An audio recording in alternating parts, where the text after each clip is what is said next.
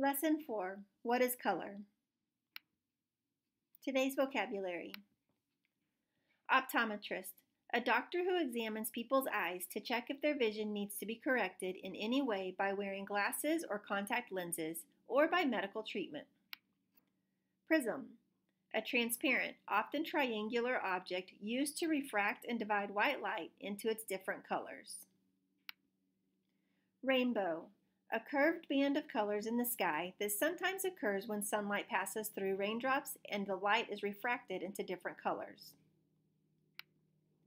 Spectrum, a series or range of objects, things, or ideas arranged in a particular order. Wavelength, the distance between waves of energy.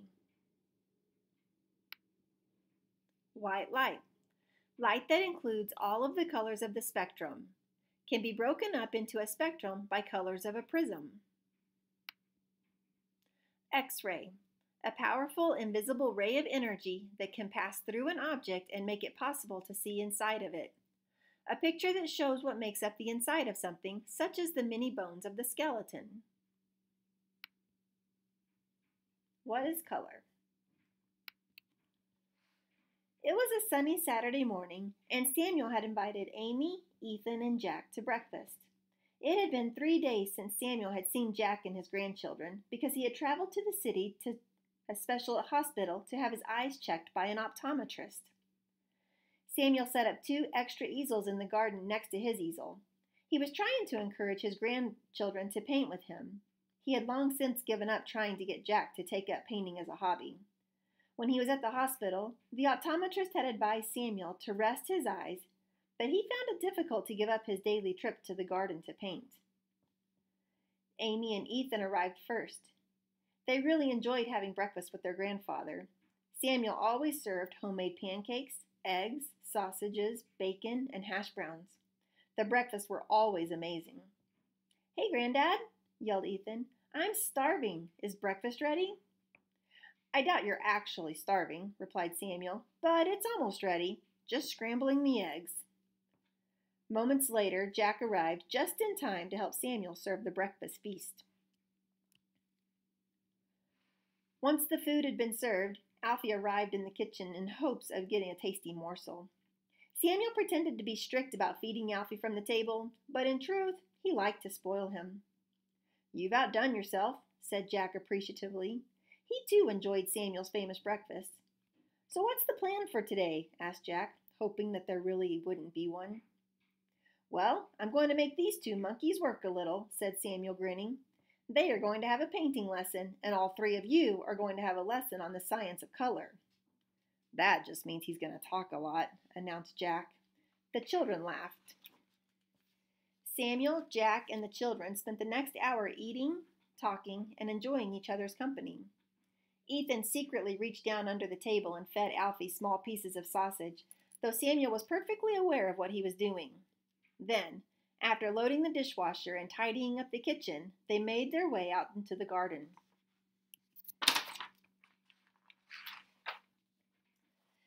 Samuel had set up the easels under the tree.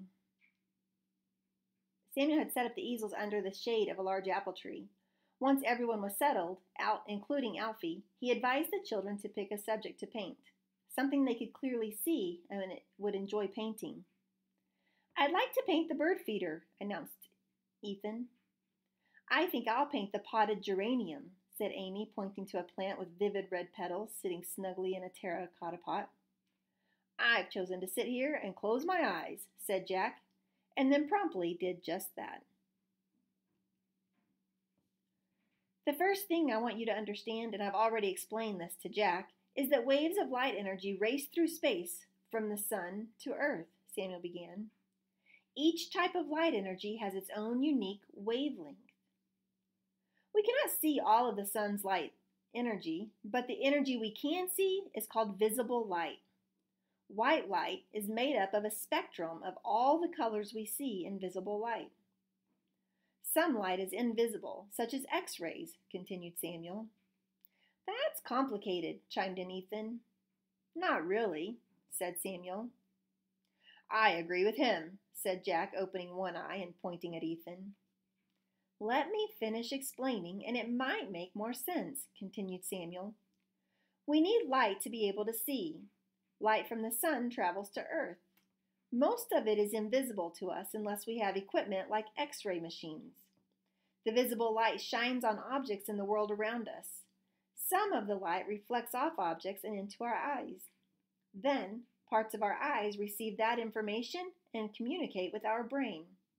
The brain figures out what colors we are seeing. However, and this is what is really interesting, said Samuel eagerly, the color of an object is determined by whether that object transmits, reflects, or absorbs light. Sometimes it's a combination. Oh, it's so much easier to understand now, joked Jack. Think of it this way, continued Samuel. Look at the grass. It looks green because it reflects green light waves but it absorbs the other wavelengths of visible light, meaning it absorbs all the other colors. But what does absorb mean? asked Ethan with a puzzled look on his face. He had by now finished sketching the bird feeder and was dipping his paintbrush into some carefully mixed brown paint. Absorbed light is the light that is soaked up by an object and is therefore no longer visible. The color you see when you look at an object is actually the reflected light. An object has no color if there's no reflected light, explained Samuel. Oh, I get it, said Amy, who by now was painting the terracotta pot. That's why my art teacher said that black materials absorb all colors of light and do not reflect any. So, in a way, black is not a true color, it's more of a lack of light.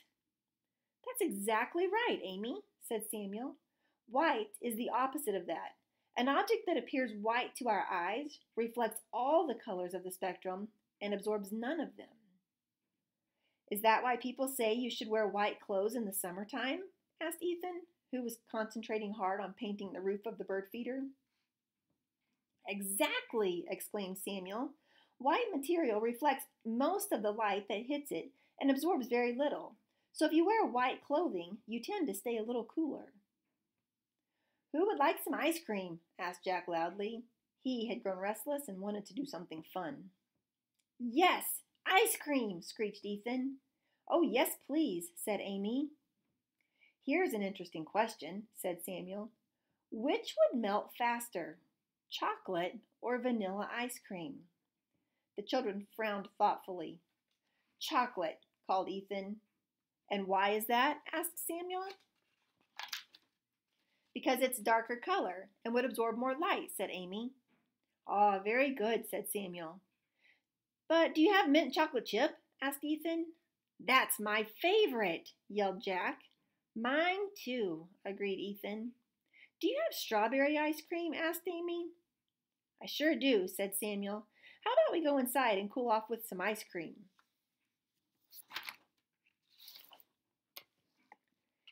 Samuel didn't need a reply. Jack and the children were already walking towards the kitchen door. They hadn't realized it, but they had been out in the garden for quite some time, and in that time rain clouds had gathered in the distance. Moments later, Samuel, Jack, Amy, and Ethan were sitting at the kitchen table enjoying double scoops of ice cream. Amy and Ethan had drizzled chocolate sauce on top of theirs.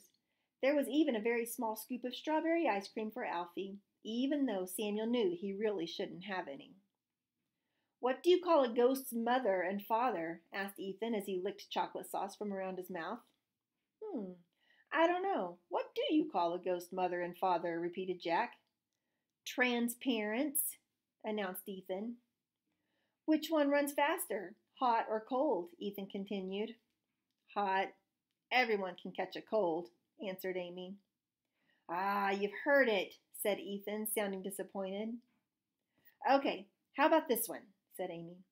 Why is it so hot in a stadium after a football game?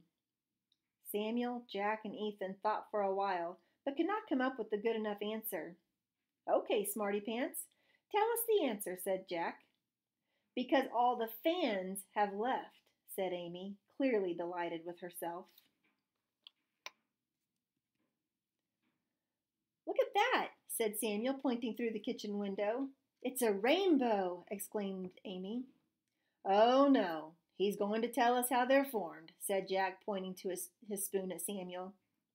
Well, as a matter of fact, replied Samuel, a rainbow is a perfect spectrum of colors. We see this spectrum when waves of light, when waves of white light encounter millions of falling raindrops. Just like the glass of water and the straw, Ethan, the light waves slow down and refract when they come into contact with the transparent raindrops. Essentially, beams of white light break apart into the colors of the rainbow.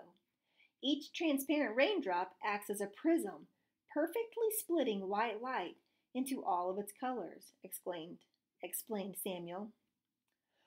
Oh, we used prisms in class, shouted Ethan. It was so cool. It was like making your own rainbow. Samuel, Jack, Amy, and Ethan continued to chat and joke and enjoy each other's company. After a while, they returned to the garden where Samuel continued the painting lesson. He advised the children to pay attention to the angles and qualities of light and shade that hung in the soft in the air like soft, clear, transparent wings. He talked to them about texture and tone. All the while, Jack sat in his garden chair and napped. Morning turned to afternoon, and afternoon to early evening, and no one wanted to leave the comfort and shade of the beautiful garden, not even Alfie.